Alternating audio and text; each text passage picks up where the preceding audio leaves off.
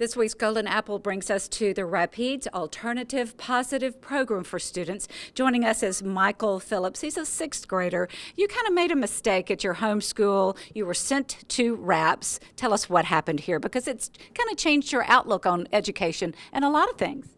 Yes, ma'am. Uh, because I was acting up at school and all that, and so they sent me here, and I had good times here, and I got a te- he was helping me a lot in school here. Okay. My first day here, I was acting up, and he talked to me about it, what was going on, and all that. Okay. What do you want us to know about your teacher that's so special here, and how has this changed your outlook on going to school? By uh, having a good day all the time and having a good grades and all that. You weren't so interested in learning when you came in. That outlook has changed, right? Tell me how.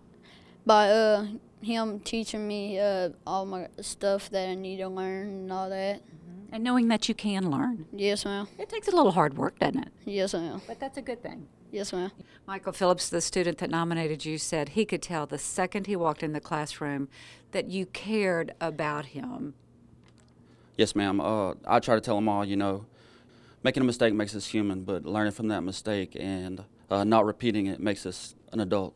Boy, this is truly a team over here, isn't it? It is. We're more than a team. We're a family. Accomplishing wonderful things here, and that's most important. We are. We absolutely are.